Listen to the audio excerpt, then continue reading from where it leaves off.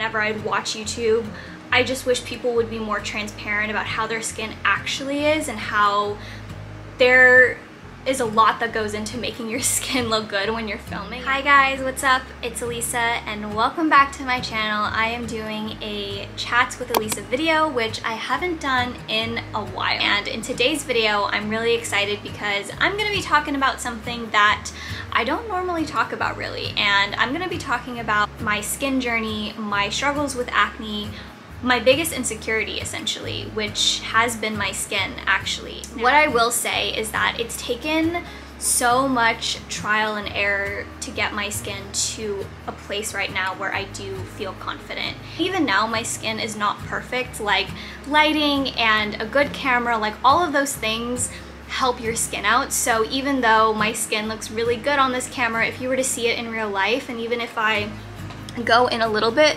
like you could see texture on my skin. You could see acne scars. And again this camera is really great so it's not going to pick up on everything. But in real life you will see the texture and the different pores. And I just felt like I wanted to start this video out being transparent because I think that's one thing growing up whenever I'd watch YouTube I just wish people would be more transparent about how their skin actually is and how there is a lot that goes into making your skin look good when you're filming. I'm gonna share the products that helped me heal my acne, the products that I still use, and I'm also gonna be talking about my skin journey. So if that sounds good to you, then just keep watching this video. I figured for context, I would tell you guys a little bit about my skin and my struggles with acne. I remember in fifth grade is when I first started having acne in sixth grade, I don't know exactly how it happened, but I ended up getting these huge like blisters on my cheeks and I don't know if it was because of a reaction of what I did because I was I remember I was trying like different things to help my skin heal and I just remember I ended up getting a really bad um, dark marks like around the middle of my cheeks and it was very prominent because it's obviously it's in the middle of your face. And I remember going to school and people would literally look at me and be like, what happened to your face?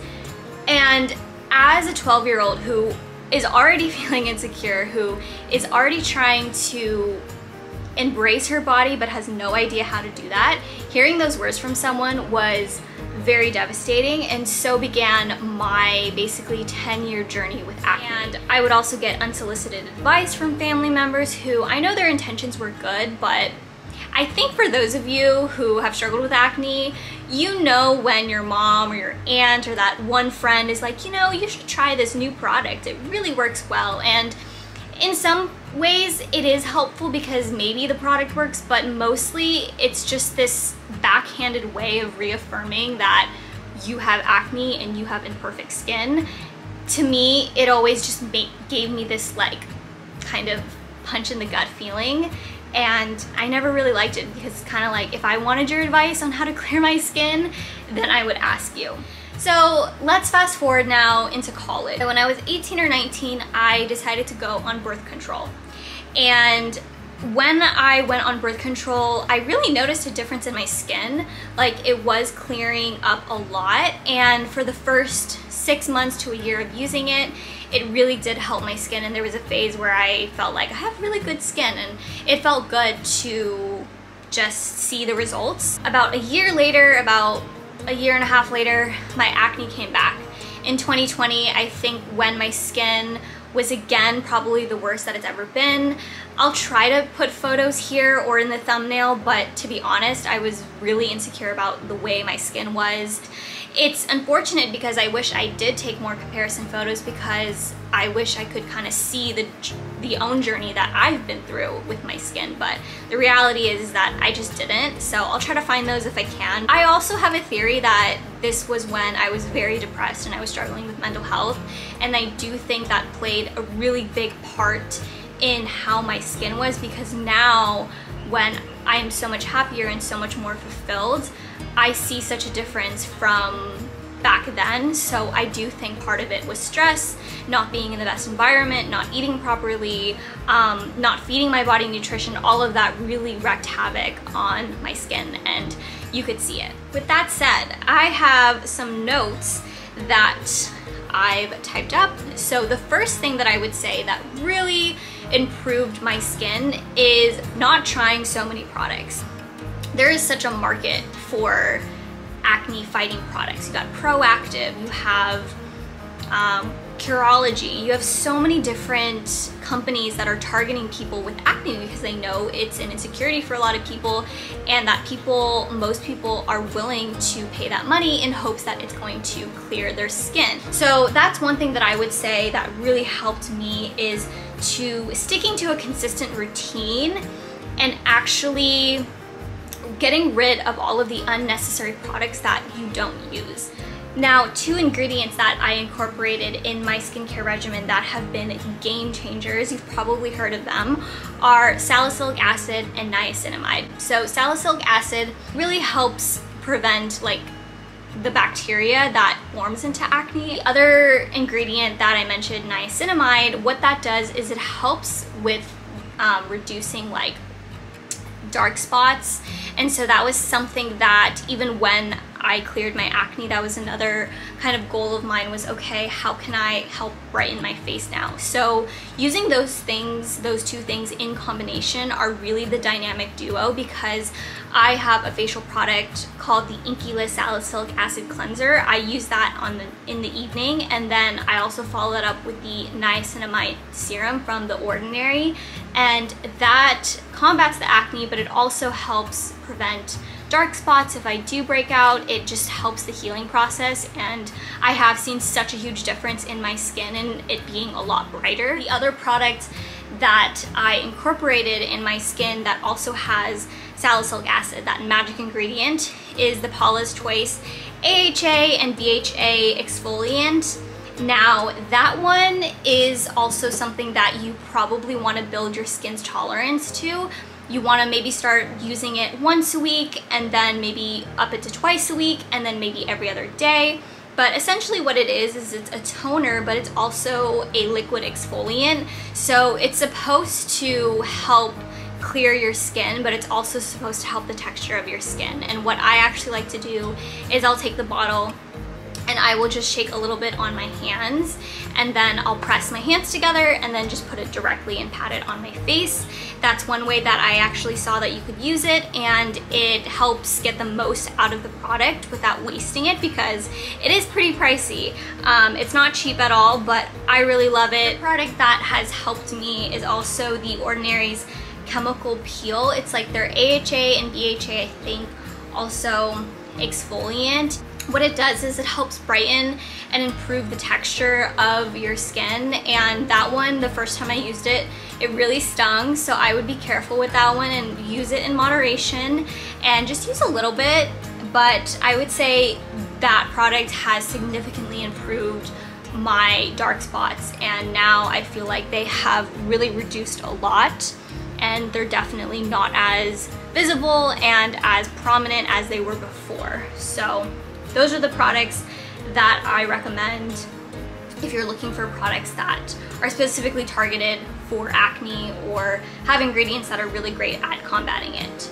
Another thing that I would really recommend looking into is be wary of the sunscreen that you use. So growing up, I remember I would just use the very generic Neutrogena sunscreen and it was one of those sunscreens that was really thick and oily and when you put it on your face you could immediately see a white cast. This was way before obviously I was making my own money so I was buying like the cheapest thing that I could find. I also didn't really know a lot about skincare so I would just use whatever my mom would buy me. That was one of the things that was really breaking me out because after I stopped using it my skin did clear up a lot and that's when I realized, okay, I really have to be mindful of the sunscreen I use. Because for me at least, I found that a lot of sunscreens broke me out.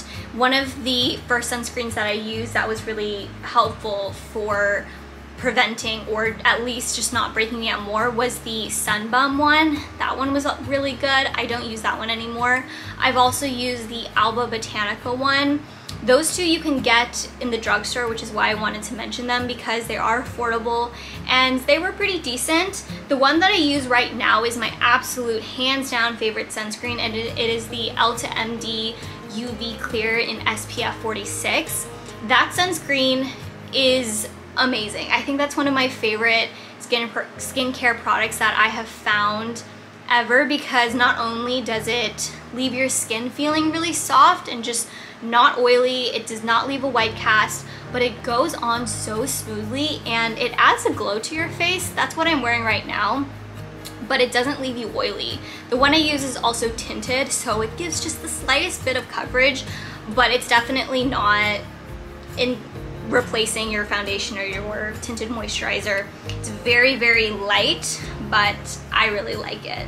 So I would highly recommend that one. And the UV clear one is also meant specifically for more acne prone skin. Finally, the other little point that I wanted to mention is that happy life equals happy skin. Finally, when my life started switching around, I started becoming more independent and just getting out of and working on the mental health struggles that I was dealing with at the time that really significantly helped my skin. The other thing that I wanted to mention is throughout this entire process, I did not use Accutane. Now, if you haven't heard of Accutane, Accutane is a very, very harsh, hardcore um, drug, I guess, pill, if you want to call it, that people take when you have severe acne. I have a story time with that actually where I visited a dermatologist. He basically took one look at me and was like, you have really bad skin and the only way that you're gonna heal it is with Accutane. And hearing that just made my heart drop because it was like, wow, like he didn't even recommend other ways of how I could heal my acne. He went straight to the most severe form of treating acne. I think you should always follow what you feel is best for you and do your own research because my skin was pretty bad at one point, but I didn't want to go down that route of using Accutane because there are so many side effects. I'm not going to go through all of that in this video because it would take too long, but you could just look up the side effects of Accutane and it speaks for itself. I don't want to totally discredit that way of healing your acne or that method because I've seen people also who have gone through through the side effects but in the end it did clear their skin and to them it was worth it. I'm just saying that if something doesn't feel right to you and you feel like there's another way that you could heal your skin that feels true to you, don't be afraid to voice that or to follow that. And for me, that's kind of what it took for me. It took trial and error, it took patience, and now I can confidently say that I, I am in a good place with my skin and I do feel like it's not this thing that's constantly in my head when I meet people like, oh, are they looking at my acne? And I also don't want to portray this message that you need clear skin to feel confident or to feel beautiful. That's definitely not the case. But I will say that it really boosted my confidence when I found a skincare routine that actually worked. But I did want to kind of give my final thoughts on just my skin journey in general. Looking back, I am quite grateful for my struggles with acne because it taught me a lot of resilience. I feel like in my own journey, what helped me the most was finding what worked best for me and my camera is about to die so I'm gonna try to wrap this up. But the other thing that I wanted to mention as well is to just have patience. You know all good things that are worth having take time. So don't be discouraged if you're trying something out and it's not working. It truly takes a few months for you to see results. And even for me, I'd say it took a full year of doing the skincare routine that I do now to actually see results and get to get to this place right now. So I hope this video helps someone out there. This video is not meant to serve as a replacement for seeking professional help, but more so a safe space to say, I've been there, and I got through it and there is a light at the end of the tunnel and these are the products that have helped me and maybe they can help you. So with that said, you guys, I'm gonna wrap this up. I really hope you found this video helpful. If you did, make sure to give it a thumbs up and I'll see you guys in the next video. Bye friends.